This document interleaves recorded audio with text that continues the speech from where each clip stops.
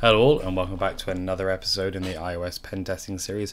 In this episode we're going to go through the broken cryptography uh, section of the app um, and for to do this we're going to use Frida and objection. We're going to use it. We're going to do two different ways of the same goal, of achieving the same goal.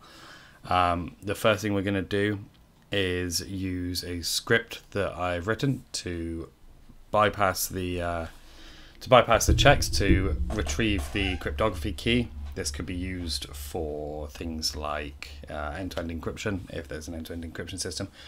Uh, this could be used for any sort of local encryption storage or even encrypted traffic going over the network. So this that that could be encrypted HTTP requests. Uh, it could be yeah, a number of things. So without further ado, we will hop into the iOS app and we will get going. So I'm just going to quickly start the screen recording. And then we're just going to open up the DVI app and we can navigate down to broken cryptography. Uh, the only reason I chose this uh, this challenge was just because it, it sort of suited Frida the best. Um, I could have done it with a number of other challenges, but we'll go with this one for now. Um, so, as it says, enter a password when you visit the challenge page for the first time, then exploit the weakness in the encryption method being used to get the password back from the application. So that's exactly what we'll do. Click on challenge one, and here we'll enter a password of test. Uh, welcome returning user, enter your password to log in. We'll type in test again. You're logged in. Great. Just see what it did. Now, let's go over to the laptop and we can start tracing the functions. So we can do frida-ps ua, and we can grep for dvia, and we'll grab the PID there. Next thing, we will grab the, uh, we'll trace the calls. So I've already done it here. There, wait, wait, let me just remove all that. And actually, before I do that, just to explain what that uh, that that command does is free to trace will hook into the um, a lot of the or a lot of any uh, iOS calls or, or, Android calls or whatever you're doing, but in this case iOS calls. Uh, dash U just means to do USB. Dash M is just for a I, I believe dash M is the uh, Objective C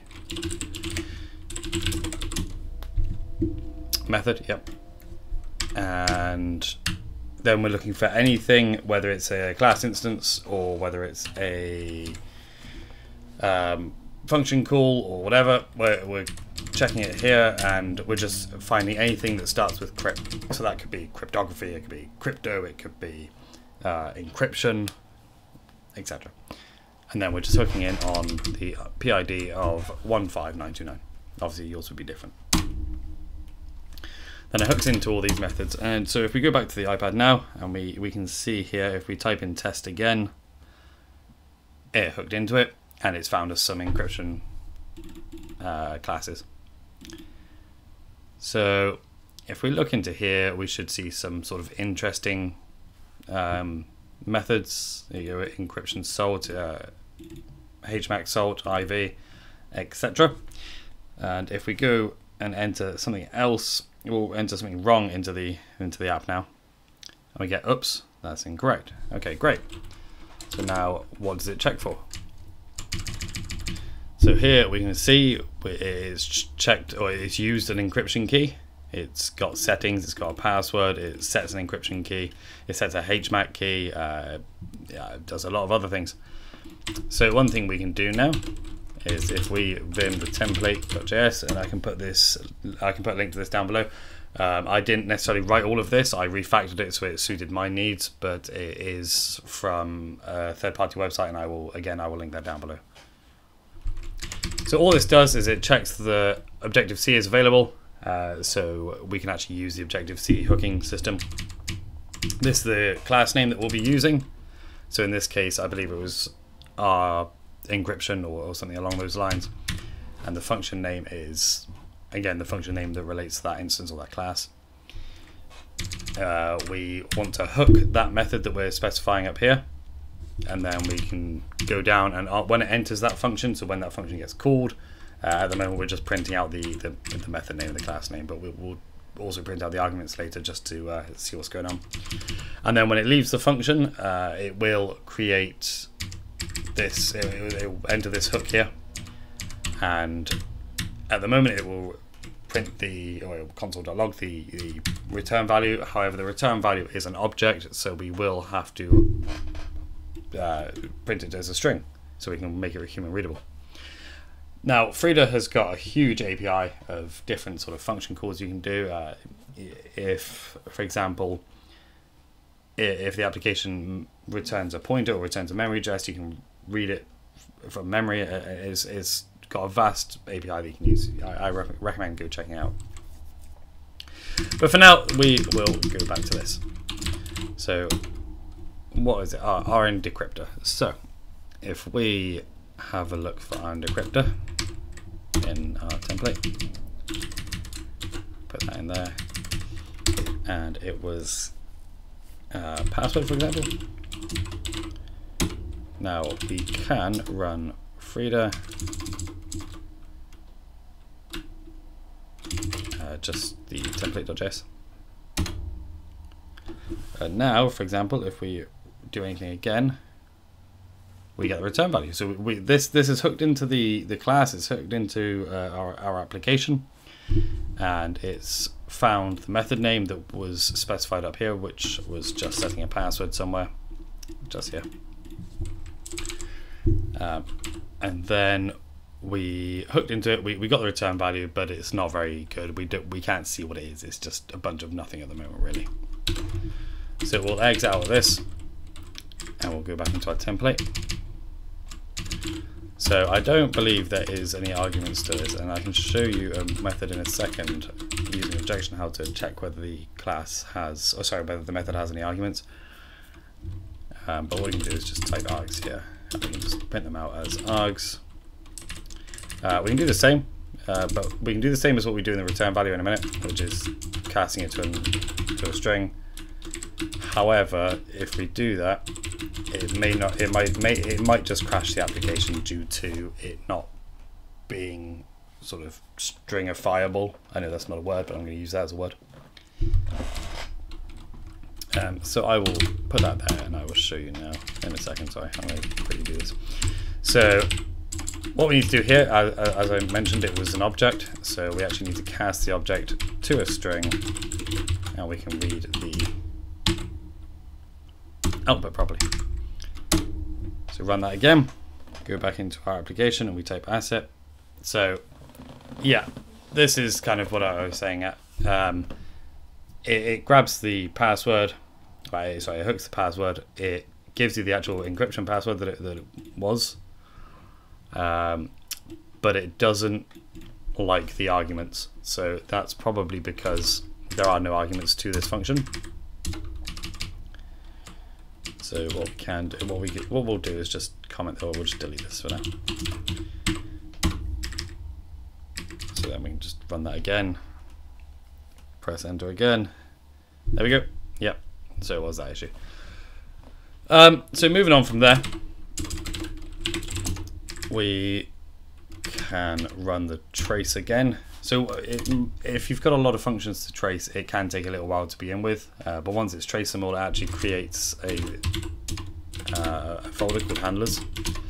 And in there, you can go into there and go, okay, I want to check for, uh, let's go for CK encrypted data. And let's just, oops, we'll, we'll enter this one. And now every time this is called, you'll see that it, it hits this method. Um, and also on the, it will, obviously it won't print anything back enough that, but it, if you put something there, then it would. Um, so that's really handy, uh, and you don't necessarily need it to.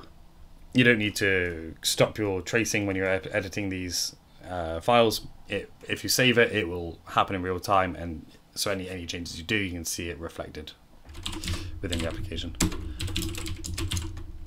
But we don't need to deal with that for a minute. Uh, the only other thing I was going to say about this before we move on was in here somewhere. Let's just press OK again. We get an encryption key. So I just want to show you the encryption key. no, we to do template.js. Uh, and so up here.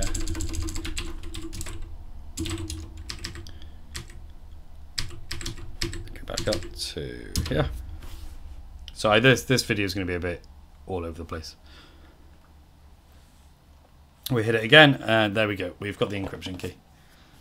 So you could, as long as you remove all these spaces uh, and whatnot, it will just be a hex string. So you could try and see if that is just ASCII hex or whether it's something else. But for our purposes, I'm just showing you how it's done. So yeah, with that, we could then go back and, and reverse engineer the, the, how it's done, uh, how sorry how the encryption was made, but that's kind of out of the scope of what I was trying to show you. I was just trying to show you how to grab this data. Um, I think that's probably it for this part, but what I will show you is if we go into objection again, we go into iOS hooking. Now, iOS hooking has a few different things you can do. Um, one of my favorite things is just to list all of the classes and that will list everything. Uh, so if you wanted to list them and put them to a file, you could do something like uh, I can't remember what. There we go. Cool. So if you wanted to post them to a file, you could do this. Uh, instead of explore, you could do run and do iOS hooking classes. Yeah, and then just like t them to classes.log or whatever you want to do.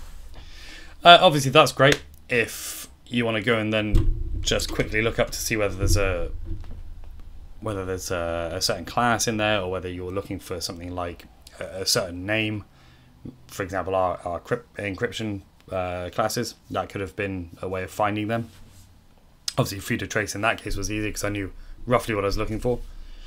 Uh, but other than that, we can do something like iOS hooking, um, and we want to watch method.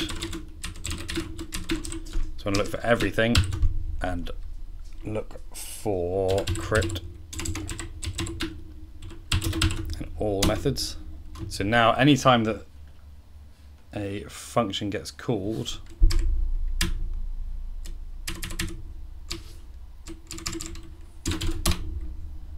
it is case sensitive, so you have to kind of be uh, be, be a bit little, be a little bit careful with this. Uh, I feel like I'm missing something here.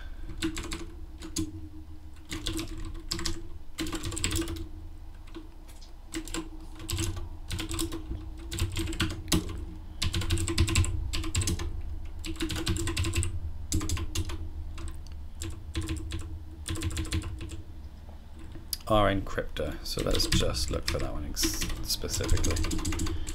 So what we can do here is just put match for anything and then do rn encryptor and then any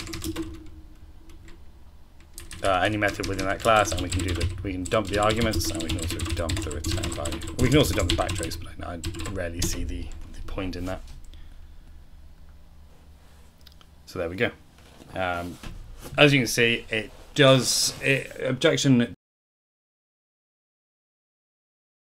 objection does make that a lot easier, uh, at least to the extent where you can see what's going on. And here it says zero arguments are, are going on. Um, however, it doesn't deal well with things like casting it to a string. You can't do that, so you have to write a script manually to do that. Um, so there's sort of pros and cons of doing both.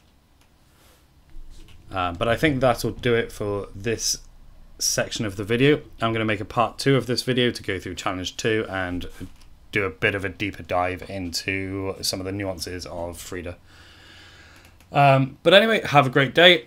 And if again, if you've learned anything, like go ahead and subscribe, do all the fun stuff, uh, and drop me a comment. Let me know what you thought about it.